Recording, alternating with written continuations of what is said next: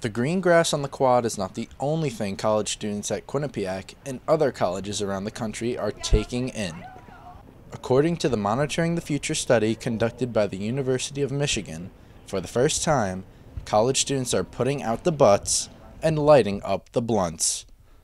Yale New Haven Hospital instructor of adolescent medicine Dr. Deepa Camenga specializes in teen substance abuse.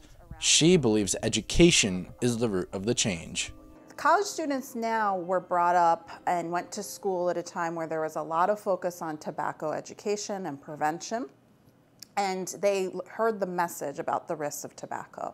According to the study, 5.9% of college students reported daily or near daily marijuana usage in 2014. That's one in 17 students.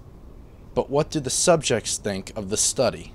People think that marijuana is safer to smoke than cigarettes. Katarina Miley is a senior at Quinnipiac and has been smoking cigarettes for the past two years. Miley believes that the trend will continue. I think that at some point cigarette smoking will probably stop. I mean, obviously, you know, not everyone's going to quit, but I definitely think that, that marijuana smoking is going to increase a lot.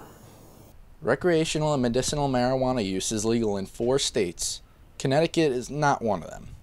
But the results of the study seem to indicate that more states and college students are going green.